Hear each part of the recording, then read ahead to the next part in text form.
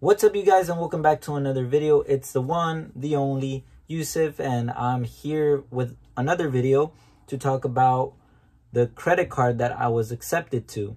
And the credit card that I was accepted to, I've been trying to already apply for it and I've been denied several times. But luckily you do not get a hard inquiry on your credit score when it comes to applying to this card. And now it's time to reveal the card that I applied to.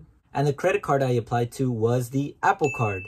I know the card has already been out for a while now and I just wanted to get my hands on it because I saw how cool the physical titanium card was and I wanted to get it and I also, you know, read through the description of what um, conditions you have and everything. So it wasn't the most best like credit card, but it's decent enough.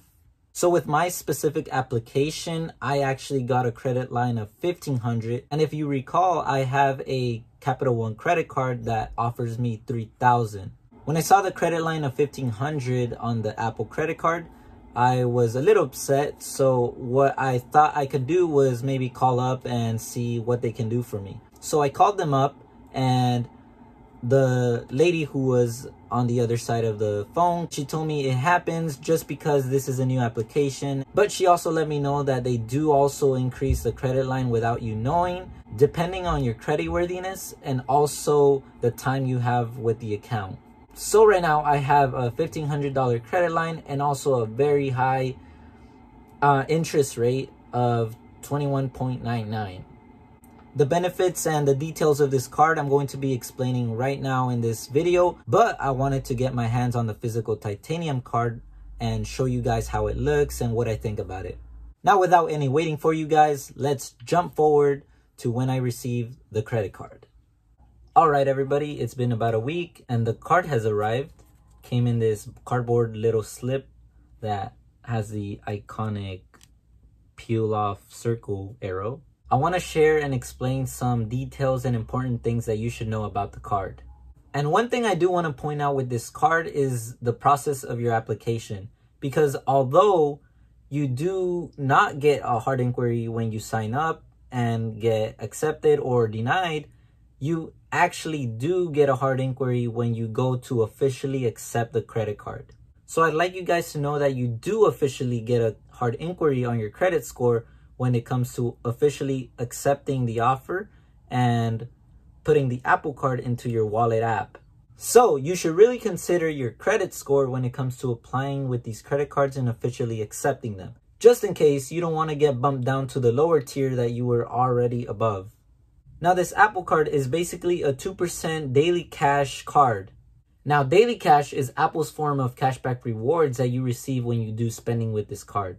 So like I was saying, the Apple Card is basically a 2% daily cash card, but there's chance to earn 3% when you shop at these select merchants. And these merchants include T-Mobile, Exxon gas stations, Mobil gas stations, which I think they're related, they're a family branch. Um, also Panera Bread, Uber, Uber Eats, uh, Walgreens, and Nike. Not only that, but you also get the chance to get 3% daily cash when it comes to buying Apple products and also Apple services. All of these daily cash rewards sound amazing, but there's a huge, huge, huge thing you should know. These 3% and also 2% daily cash rewards are only offered if you use Apple Pay through your phone. There are plenty of stores that still have yet not accepted Apple Pay as a form of payment, and that's when the physical Apple Card comes in. Now you still don't get left out of the daily cash because when you use the titanium card, you will get 1% daily cash back. And you know, something's better than nothing. You can also save up the daily cash you've been earning because it doesn't expire and you can use it just like cash. Transfer it to your bank account, send it to a family friend, whatever you desire. I think I did enough talking about the details and the important things about this card that you should know. Now, I hope you're excited as I am because this is the first time I'm seeing it and let's just get right into opening the package.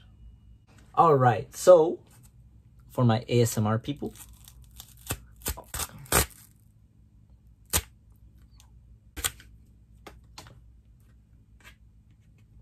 all right, so it's like a cardboard envelope. And we scoot it out, the Apple logo. All right.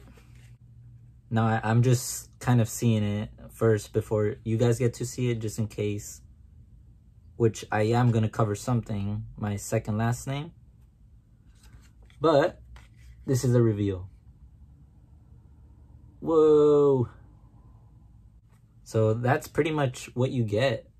Like a little white envelope carrying your card. Now let's take it out. All right, so I went ahead and took it out of the box and put a sticky note thing up here.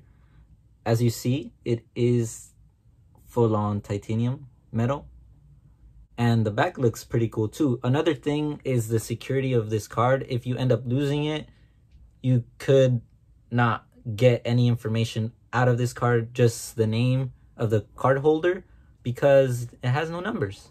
And as you see, it is given by Goldman Sachs and it is a MasterCard. But it's so cool. I don't know. What do you guys think? Do you like it? Do you not? Make sure you leave it in the comments. Okay, so this video is not over yet just because I want to end it off by having you guys hear, of course, the drop on this card. First, I'm going to be testing it metal against metal. Here it goes. That was unsatisfying. Now, let's say you're going to be paying dinner one night and you end up using your Apple card. As you're about to hand your card over, you accidentally drop it and... Alright everybody, I'm going to wrap up the video right here. Thank you so much for tuning in and watching another video of mine. I really appreciate you guys. I hope this video was educational and also entertaining so you guys get to see the credit card and as well as the details about it. Once again, thank you guys so much. I appreciate your support and I'll see you guys on the next video.